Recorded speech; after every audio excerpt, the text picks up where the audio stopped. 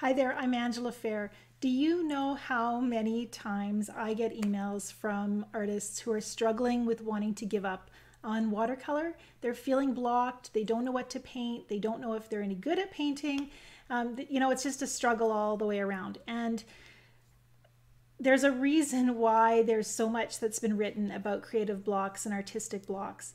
And I think a creative block comes from two places. Uh, Actually, I think it comes from one place, actually. Uh, it comes from fear. Uh, when you fear that you don't have what it takes to be a good artist, um, that you're never going to get to where you want to be, uh, that can hold you back and block you more than anything else. It's a source of guilt. It causes you to procrastinate. It just hurts you as an artist. And we don't want to feel guilty. So, as um, as we, I'm going to do a little painting for you, and I'm going to talk about the very quickest and easiest way to cure that creative block. And uh, as we paint live, I'm also going to tell you uh, a little bit about my watercolor beginner bootcamp, which is a free event that starts tomorrow. So uh, let's just switch over to my work surface, and uh, I'll take, I'll, take, give you a little tour of what we're going to be working on today. Uh, let's see here. Okay, so um, on my work surface are two uh, paintings. These two right here uh, are actually going to be part of my watercolor beginner bootcamp and uh, little landscapes that we're going to be painting as a class. And in the class, I'm going to be showing you um, this first layer is going to become a complete painting uh, by tomorrow. And I'm going to be showing you some of the common mistakes artists make. And this uh, painting shows a few of them. Often when we're painting uh, as a beginning painter, we tend to work in a jigsaw puzzle fashion where we will uh, paint each piece separately. We paint the sky, we paint the water, we paint the mountain, we paint the grass. We try to let each piece dry so that we don't have a lot of bleeding and overlap so it doesn't look like this. And uh, But in that process, we actually struggle because um, as you can see here where I've painted some of these yellow flowers, we have an overlap between the yellow and the blue um, and that you see the line showing through and then we have to struggle to fix that. We have areas where we weren't exact in matching our, our shapes and so we have little white gaps showing through. This is an extreme example but even along here we have um, those little white gaps uh, showing and they're they're hurting our painting. They're causing, uh, they're creating an edge that actually is um, very distracting to the overall flow of the painting. Uh, in my Facebook group today, I painted this version of the same scene, and I'm fairly happy with it. Um, for this one, I painted uh, basically uh, in a similar to the jigsaw puzzle fashion, but I tried to do it all in one layer, and that really helped me to blend some areas, although it has a few mistakes as well. And I don't think it's bad to have a mistake in your painting. Um, but then when I've been painting from a reference photo, often what I find is that I really rely on my reference photo and I end up painting something that is very much a copy of what I see without being able to differentiate between what's least and most important. And that can be a problem if you want to be a heart led artist, if you want to share your emotion that's connected with the scene. Um, and even if, even just because we're working with the limitations of the photo, a reference photo will always give the most detail to the objects that are closest to the viewer which generally is the, down at the bottom of the page. And so often, uh, if you're painting from a reference photo, we tend to paint very detail heavy paintings down at the bottom of the page. And that can mean, make our painting very heavy down here. And it can make it very hard for the viewer to go right through your painting to, to follow each, uh, to just have a pathway of travel through the scene. So we have to balance our scene. We have to make artistic decisions and that can feel overwhelming if you're just getting started in watercolor. If you've been struggling with getting your paintings to do what you want them to do, when you have a blank piece of paper, that it can feel a little overwhelming. You don't want to spoil that piece of paper. You ruin yet another sheet of paper. And I want you to lay your fears aside right now. If you are painting, you are growing. The very best way that you can grow your skills and become the artist you want to be is by logging a lot of brush miles. The more you paint, the more you develop strategies so that you can make choices uh, that are independent of your reference photo, choices that serve your painting. And uh, you can stay encouraged because this paper right now is not fulfilling its purpose. Paper's purpose is to be filled. No piece of paper ever succeeded by staying blank. If you think of an exception to that, let me know. But really, we want to see something on the paper. You would be very disappointed if you bought a, a, novel and you opened it up and every page was blank. We want our story to happen, and we need paper in order to do that. And uh, we're we're artists. We have to develop our skills somehow and that involves putting paint on this paper. So please don't hoard your paper, use it. And if you're feeling stressed about messing it up, recognize as well that until your brush touches the paper, there's there's no learning happening, there's no growth happening. So we have our piece of paper, we have to make a choice now to put those brush strokes down on the paper. And to do so in a mindset that doesn't feel bad if the painting doesn't turn out, because that's the second thing that tends to happen, right?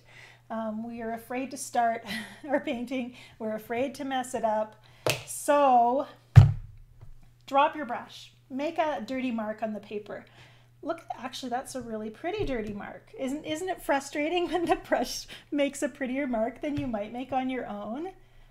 That can feel overwhelming.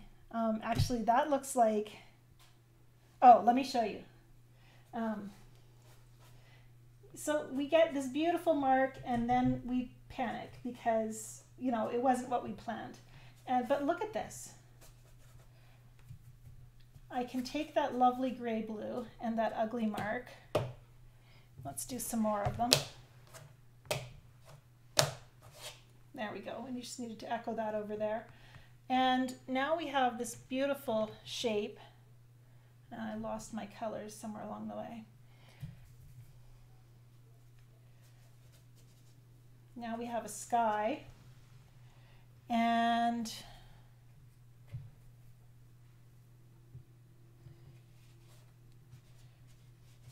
and we have a mountain. Look at that. Now, I was supposed to paint an Irish landscape on this, but when I saw that mountain, I just had to do it. And that is actually the key to succeeding um, in watercolor and as a, as a loose artist, and to have um, the ability to stay encouraged as you paint is if you are attuned to what is happening on the paper, you will be able to paint uh, and stay and, and just enjoy painting so much more. To grow as an artist because painting has become fun, because suddenly you started a dialogue with the with the paint and the water, and um, and you started to see things and encourage them to emerge.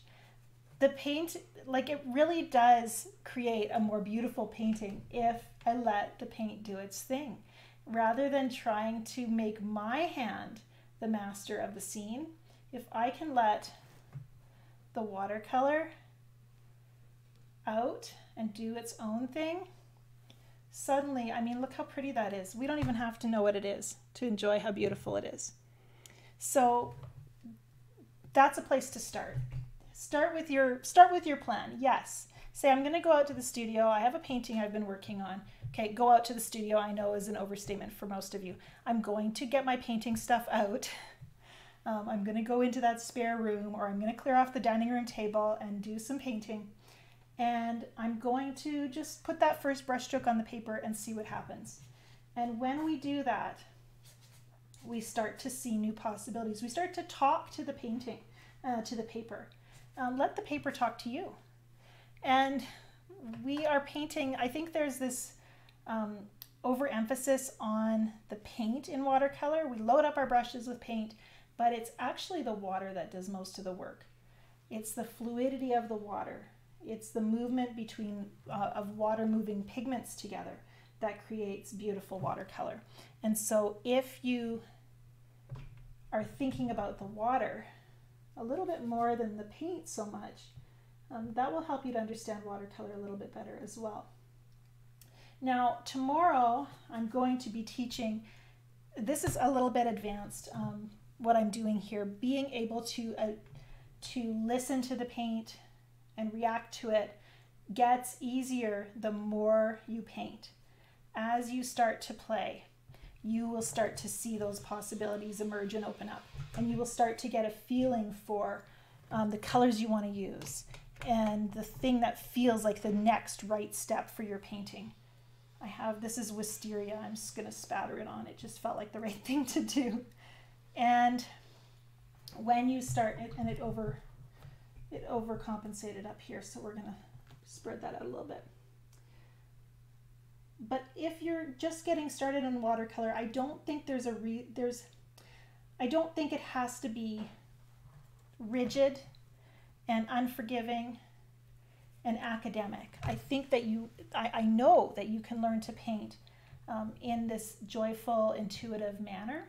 And that's been a priority for me as I've taught watercolor um, over the last few years. So we're going to spend time talking about that in that online workshop tomorrow. It is free to sign up and I would love to have you join me. It, there's a link in the description below the video. And uh, if you can't make the live broadcast, because I know time zones, it doesn't work for everybody, I am sending out uh, the link to the replay so you can watch the recording afterwards. So you, you're not going to miss out just because you know you have a, a, job and a life and all of that. Um, I, I really, my, my goal, my mission is for my students and for anyone who loves watercolor to feel encouraged in the journey, in that learning process if you love watercolor too much to quit, you will master this medium.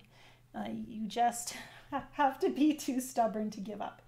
And, um, and learn how, learning how to stay encouraged in the process and make this kind of um, heart guided play uh, a part of that is really, really, really valuable.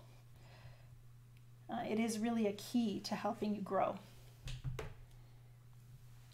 I believe that when you are playing, you are most authentically yourself.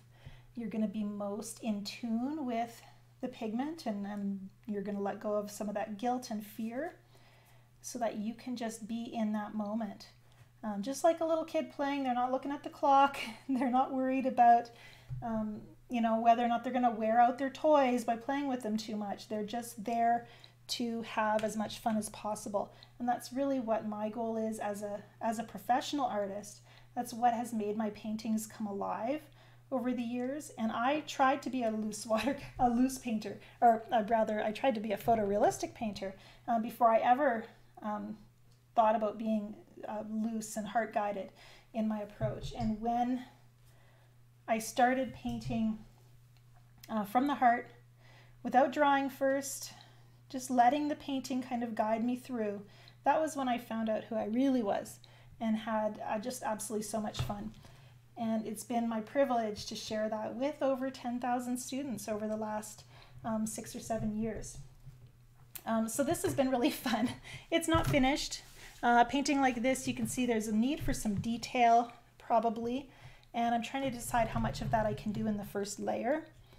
Um, having painted for so many years, it does make it a little bit easier to um, see and anticipate um, what, what I can get away with at this stage of the painting.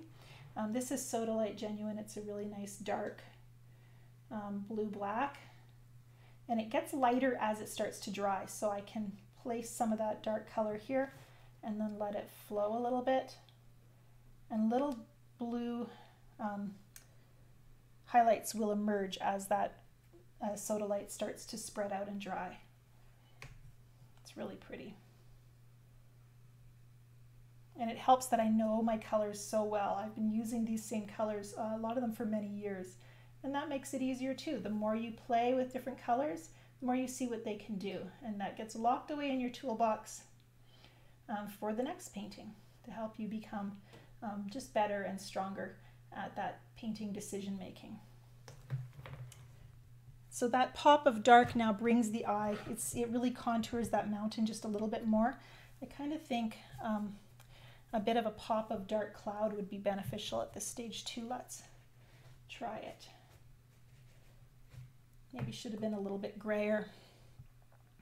Um, I'm using the same blue that I was using down here, just a little bit diluted, but adding a little bit of orange to it We'll just brown it up a little bit and make it a little bit less blue. A little closer to a true gray. Oh yeah, that's nice.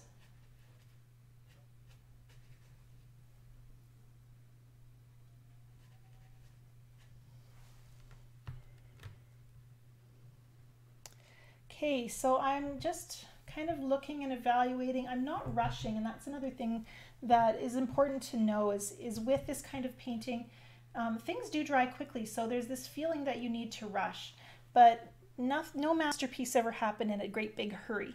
So instead of rushing, what I like to say is um, don't paint fast until you've thought through what you want to do next. If you can see the next step in your head, then do it. Um, but until you can see it, you know, just hold back, um, pause, pay attention, and evaluate.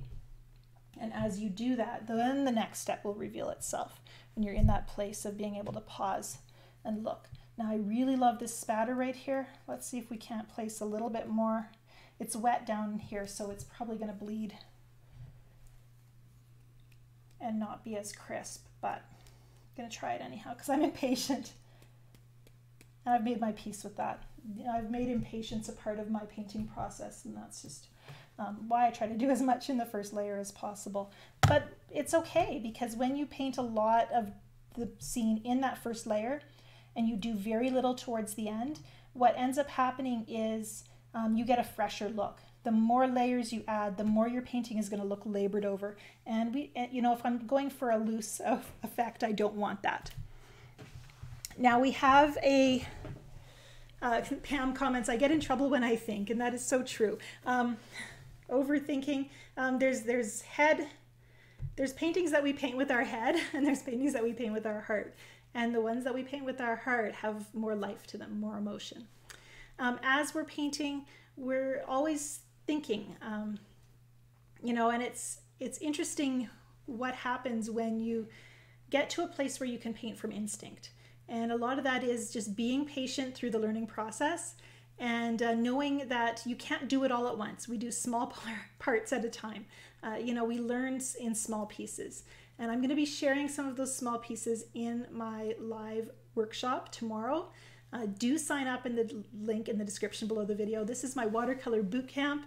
Uh, I love the phrase boot camp paired with watercolor because it's so not what we're about. Um, but it really is a crash course in the fundamentals of watercolor. So I'm going to be talking about the basics, trying to help you think like a watercolor artist in just a few hours and then from there, you can start to practice and grow your skills so that you can develop that instinctive uh, ability to kind of anticipate what the painting needs and start to see just one step ahead. And I encourage you to sign up and join me. I'm Angela Fehr, and thank you for watching.